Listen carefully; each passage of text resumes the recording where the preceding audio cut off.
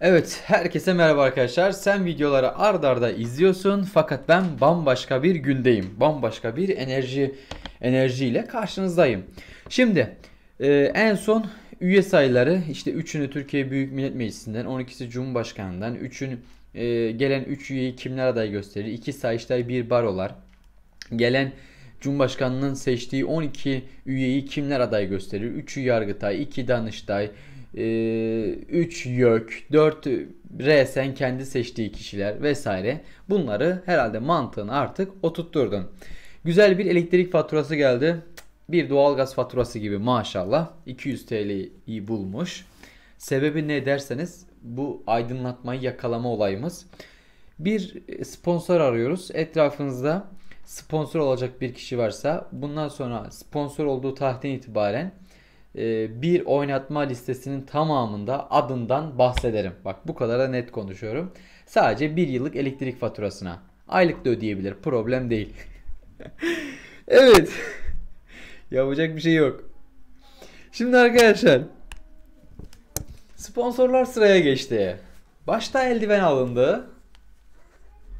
Şimdi arkadaşlar anayasa Mahkemesinin görev süresi, görev süresi ve üyelerin üyeliğinin sona ermesi. Bak buraya görev süresi 12 yıl ve bir daha seçilemez. Tamam? Bir kimse iki defa Anayasa Mahkemesi üyesi seçilemez. Gözün doysun ya. 12 yıl Anayasa Mahkemesi üyeliği yapmışsın. Daha neyin Anayasa Mahkemesi üyeliğinden bahsediyorsun.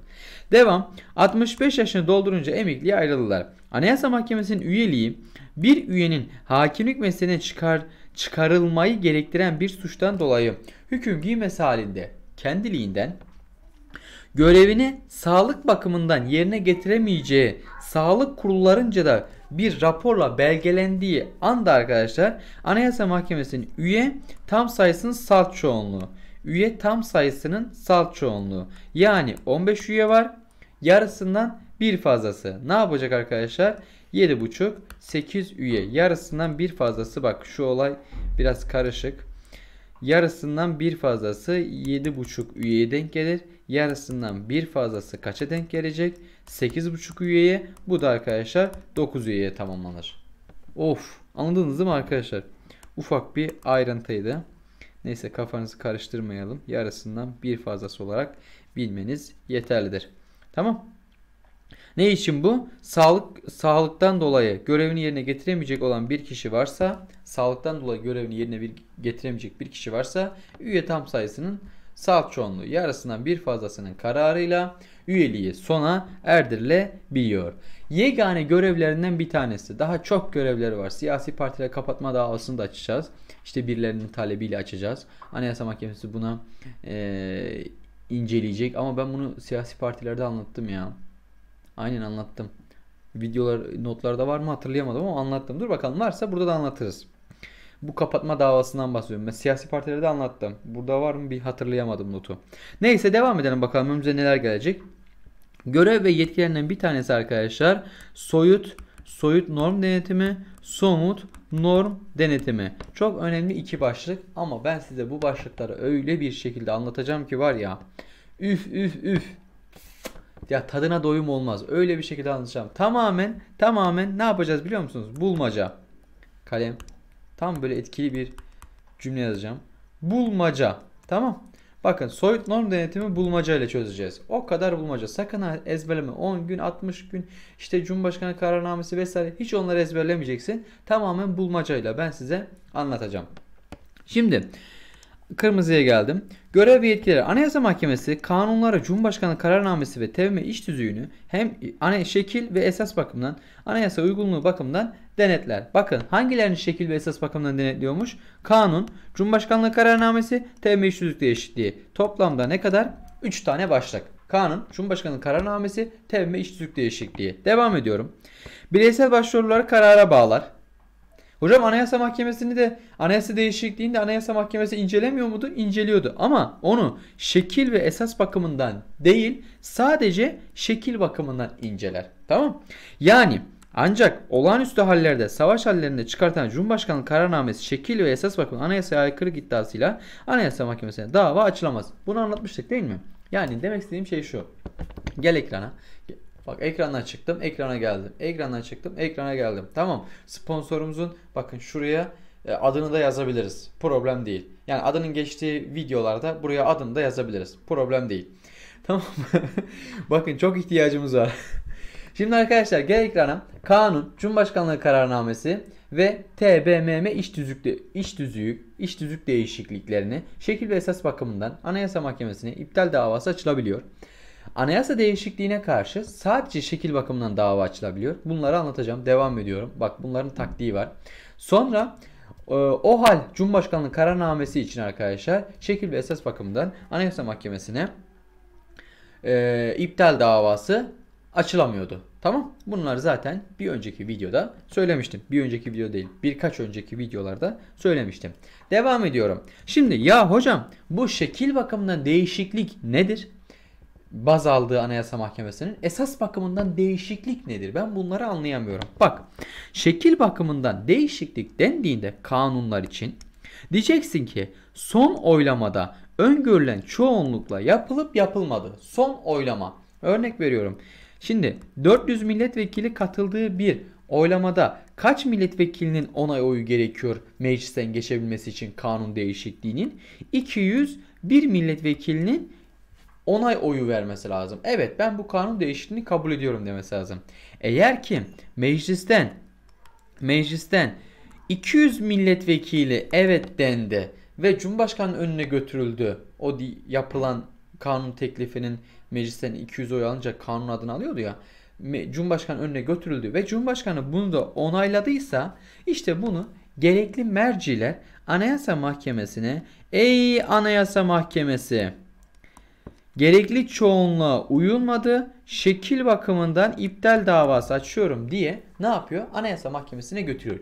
Bakın içerikle benim bir alakam yok. Tamam. Ne bakımdan açtım? Son oylamada gerekli olan öngörülen çoğunluk sağlanmadığından dolayı ne yaptım? Gittim şekil bakımından iptal davası açtım. Tamam. Hocam esas ne? Esas şu.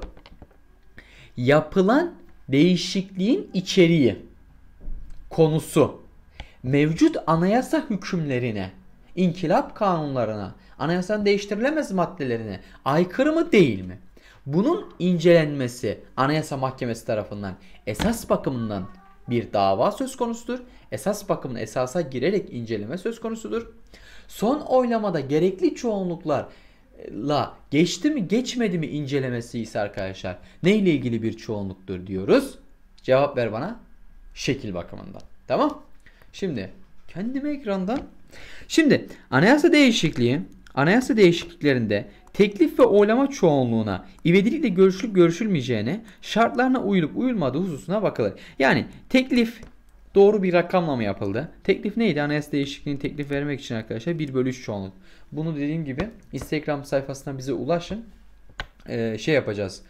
Urfa'da ikamet eden fazla masrafa girmesin. Merkezde oturan bir öğrencimize stüdyomuza alacağız veya birden fazla öğrencimizi buna daha tam net karar veremedim. E, birden fazla öğrenciyi bir araya getireceğiz ve anayasa değişikliğini anlatacağız. Kamerada çekecek müthiş eğlenceli bir e, son video olacak galiba. Müthiş eğlenceli geçeceğini düşünüyorum. Şimdi ivedilikle görüşülüp görüşülmeyeceği yani ivedilikle anayasa değişiklikleri ivedilikle görüşülemeyeceği yani bir, bir tur değil de iki görüşme söz konusu burada. Şartına uyup uymadığı hususunda incelenmesine ben ne diyorum? Ne diyorum arkadaşlar? Anayasa değişikliğinin şekil bakımından incelenmesi diyorum. Tamam? Şurada da okursunuz kendi notunuzda. Sadece notu temin etmiş. E, videoları izlemeyen arkadaş varsa e, mutlaka izleyin diye bir nokta atışı yaptığım bir yer. Şekil bakımından denetleme Cumhurbaşkanca ve Türkiye Büyük Meclisi'ne geç, geç, geç. Şurayı geçiyorum. Tamam. Oo baya varmış. Burada anlatacağım diyecektim. Neyse. Hızlıca bir okuyalım. Şekil bakımından denetleme bakımından arkadaşlar Cumhurbaşkanca ve Türkiye Büyük Millet Meclisi'nin 5'te 1'i 5'te 1'i 600 milletvekilinin 5'te 1'i ne yapar arkadaşlar? 1 bölü 5 o da 120 milletvekiline denk gelir. Tamam. 120 milletvekilinin teklifi bakımından şekil bakımından dava açılabiliyor. Kimler dava açabiliyormuş şekil bakımından? Cumhurbaşkanı ve Türkiye Büyük Millet Meclisi üyelerinin 5'te 1 çoğunluğu isteyebiliyor. Kanun yayımlandığı tarihten itibaren 10 gün geçtikten sonra şekil bozukluğuna dair iptal davası açılamaz. Defi yoluyla ileri sürülemez. Demek ki dava açmaya dava açmaya yetkili makamlar, yetkili makamlar kimlermiş arkadaşlar? Biri Cumhurbaşkanı, biri Cumhurbaşkanı, bir diğeri ise arkadaşlar, bir diğeri ise biri Cumhurbaşkanı, bir diğeri ise Türkiye Büyük Millet Meclisi'nin 5'te 1 çoğunluğu 120 kişi. Kaç günde dava açıyormuş? 10 günde. Ezber değil mi? Ezber değil mi? Geç.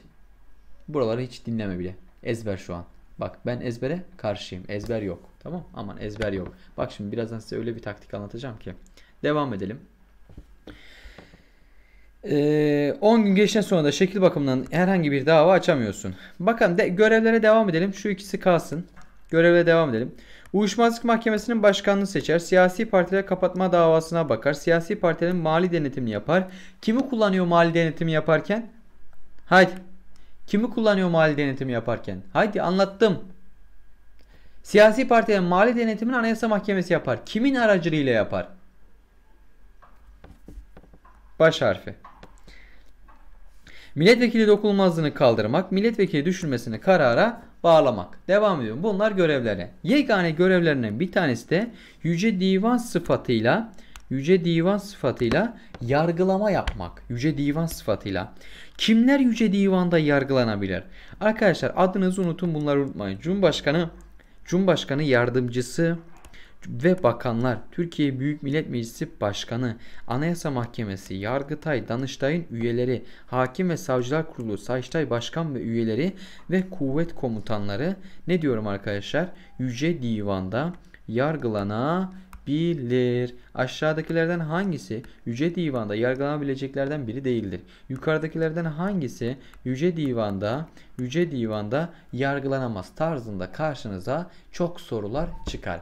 Eminim ki kaçırmayacaksın. Kimlermiş? Cumhurbaşkanı diyeceksin, meclis başkanı diyeceksin, kuvvet komutanları, e, Cumhurbaşkanı yardımcısı, bakanlar ve hakim ve savcılar silsilesi olarak da düşünebilirsin. Yargıtay, Yargıtay, Danıştay, e, Anayasa Mahkemesi üyesi, Sayıştay Başkan ve üyeleri, Hakimler Savcılar Kurulu ve üyeleri. Tamam bu şekilde düşünebilirsin.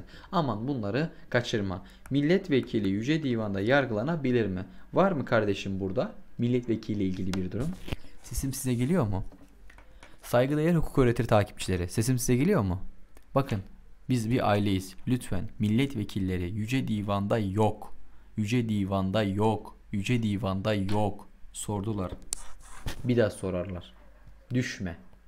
Sen düşersen. Şimdi Yüce Divan'da savcılık görevini Cumhuriyet Sav Başsavcısı ve Cumhuriyet Başsavcı Vekili yerine getirir. Yargıtay, Cumhuriyet Başsavcısı şuraya bir Yargıtay ekleyin. Ekleyin arkadaşlar. Yargıtay Cumhuriyet Başsavcısı ve Başsavcı Vekili Yüce Divan'da ne görevini yerine getiriyormuş bu adam? Ne görevini? Savcılık görevini yerine getiriyor. Şimdi size kilit bir soru. Yargıtay'da anlatacağım ama bundan önceki videoda da söylemiştim herhalde. Yargıtay Cumhuriyet Başsavcısı ve Yargıtay Cumhuriyet Başsavcısı vekilini kim seçer? Cumhurbaşkanı. Kendisine gösteren kaç aday içerisinden bunu seçer? Herkes ne diyordu? 3, 3, 3. Sen ne diyeceksin? 5, 5, 5. Tamam. 5 aday içerisinden 5 aday içerisinden seçer. Yüce Divan'da verilen kararlar kesin mi? Hayır. Yeniden inceleme başvurusu yapılabiliyor. Yeniden inceleme başvurusu yapıldıktan sonra verdiği kararlar kesin oluyor. Anlaşıldı mı? Var mı bir problem? Şimdi burada bıraksam video sayısı artar. Bırakmayacağım ya. Devam ediyorum. Anayasa, anayasaya uygunluk denetimi. Bak buraya. Anayasaya uygunluk denetimi. İki şekilde yapılır bu denetim. Bir, soyut norm denetimi, iptal davası. Bir diğeri ise arkadaşlar somut norm denetimi, itiraz yolu. Kaç dakika oldu acaba ya? Şimdi arkadaşlar iptal davası, iptal davası, soyut norm denetimi. Kanunların arkadaşlar buna özgü bir video çekmek istiyorum. Sadece 2-3 dakikalık olsun siz de birbirlerinize kolayca paylaşın. Sadece bunu dinlesin arkadaşlar. Bunu da istiyorum. Yani mesela adam bu videolar hiçbirini izlemek istemiyor. E, sadece şunu bir gönderin. Onun için Bunu çok kısa tutacağım. Burada videoyu kesiyorum. Bir sonraki videoyu çok kısa tutup 2-3 dakikalık bir video tutup bu anlattığım taktiği orada vereceğim. Sen de rahatlıkla arkadaşlarına paylaşabileceksin. Hemen bir sonraki videoya gel. Bu kaç dakikalık bir video oldu bilmiyorum. Haydi bakalım arkadaşlar. Dediğim gibi bir sonraki videoda hemen geç devam edelim orada. Kendine iyi bak. Görüşmek üzere.